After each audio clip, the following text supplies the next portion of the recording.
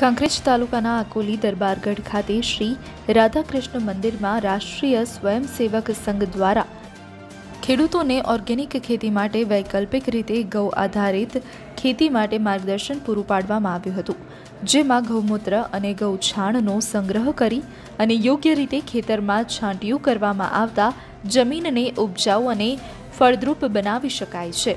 તો જેના કારણે ખેતીના પાકોમાં ઘઉં બાજરી જુવાર અને શાકભાજી કઠોર જેવા અનેક પ્રકારના અગત્યના પાકોને જીવન જરૂરી તમામ ચીજવસ્તુઓ મળી રહે છે. જેથી કરીને આપણા શરીરમાં પણ પોષક તત્વો જરૂરી માત્રામાં મળી રહેશે.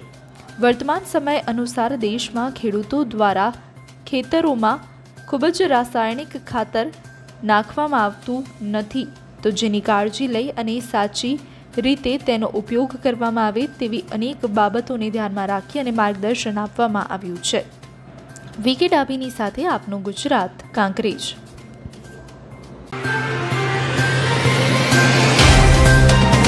तो व्हाट्सएप ट्विटर फेसबुक इंस्टा जहाँ भी आपका अकाउंट है इसे शेयर बटन के द्वारा वहाँ पर शेयर करें